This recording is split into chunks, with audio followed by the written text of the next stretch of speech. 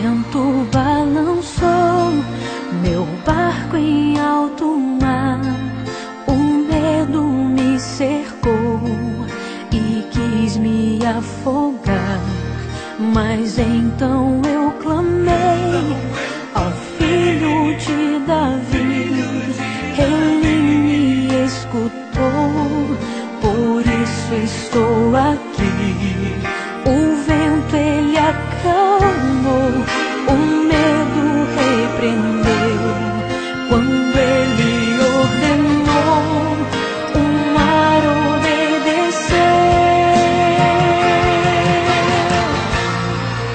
don't